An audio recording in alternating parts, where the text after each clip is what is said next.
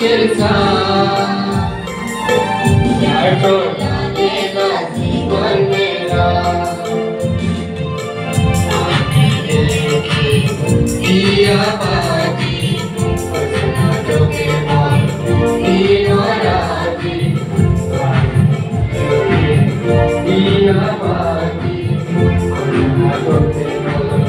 Senhor, aqui,